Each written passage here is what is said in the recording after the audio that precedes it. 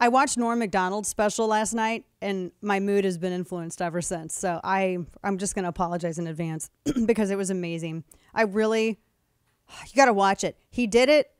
It was his last special. It was right when lockdown happened, and Norm and I were we were friends, but not like you know him and David Spade were friends, right? Like I knew him and we talked, and he would message every now and then. And the last question he asked me was about gold. It was funny, and he was he was he was uncharacteristically to me it seemed concerned about uh, the virus and lockdown, and then we all know why because he had cancer. He died of cancer. Didn't even tell anybody. Like even his closest friends didn't know he was dealing with cancer. That's why he was he had gained weight because he was on medications and that. But um, yeah, uh, had cancer and uh, people knew what was up, but he never really talked about it. But he did. He sat in his house in front of his stairs and he had everything draped. And he had his headphones on and a light and he literally sat in front of a computer and went through a whole stand-up routine. And it was so interesting the medium because stand-up requires so much of that synergy between the comic and the audience. And yet he still had such a presence that you st- you didn't notice it. I mean, the first couple of minutes you're like, "Mm, "Okay, I notice it." And then you didn't anymore because it was Norm and he was so funny and hysterical and oh my gosh he went there. And it, it it's so great. There's so many parts so many parts of this that i can't you got to watch it. It is hysterical. It was one of the funniest things. And it really it was a it was a routine where he really he went right up to the edge of discussing what was up but he never dove into it. It it, it you could definitely tell it was a routine, especially watching it after we all know you know what happened and what he was struggling with.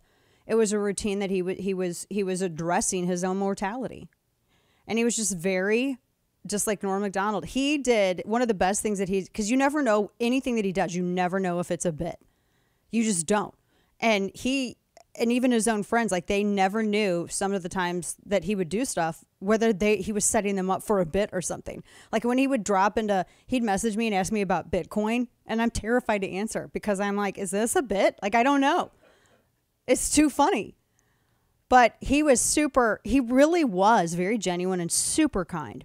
But um man that last joke that he told it was one of the most classic because he'll make a point and then he walks up the hill around the barn, you know, out over the road, and then comes back and then hits it again. And it was, oh gosh, it was so good. Kane watched it. It was. It, they started streaming it last night. You watched it, right? It was it was you know because obviously since his passing, you know you you catch up on old specials that you haven't seen or whatever. You just sort of binge on the Norm Macdonald stuff, and it's been a couple months. And when this popped, and I was able to watch it last night with my son, it was like literally tears of joy. Oh my gosh, you know so during the good. whole thing, and then then the banter between you know Dave Chappelle Yeah. and and uh, David so they had Letterman. they had a whole round table of these other comics who knew him really well. Was it weird to you to see Dave Letterman and Conan and O'Brien Conan in, the, same, room? Yeah, talking to each other. I mean, wild. they they sort of have you know that that uh, commonality with NBC, but um, yeah, that was that was a really good ending to what Norm did in that special. I love it how he was like, you know, words, you know, things change, and he's like, you know, can you believe that they're going to look, you know, people will look back on us and and think, man, can you believe how they used to define women? I mean, uh, you know, they didn't have a. I can't say the word he said, but it's it's uh, how do we slang for a male rooster? Let's say that. That's not it, Kane. You don't call male roosters penises. You don't do that. It's not how that is. But it was, and he would just make, you know, little remarks. Like, it was just so funny.